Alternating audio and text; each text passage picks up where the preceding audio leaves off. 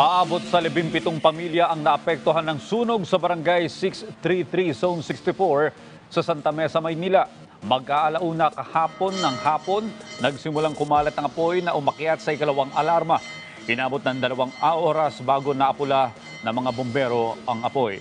Isang bahay ang tuluyang naabo habang tatlong bahay ang bahagyang natupok.